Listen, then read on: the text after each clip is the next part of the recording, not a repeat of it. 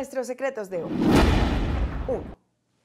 Los liberales, Cambio Radical y el Centro Democrático ponen en práctica su alianza y lideran la reforma a la salud. Varias reuniones ha realizado el ministro de Salud Juan Pablo Uribe con los senadores Álvaro Uribe Vélez, Fabián Castillo de Cambio Radical y el representante liberal José Luis Correa. Aunque han radicado por separado reformas a la salud, la idea es unificar las iniciativas y presentar un gran proyecto que obtenga mayorías aseguradas. Ya hay consenso en varios aspectos estructurales, pero existen algunas diferencias particulares que empezarán a socializar en foros regionales que comienzan el próximo lunes en Barranquilla.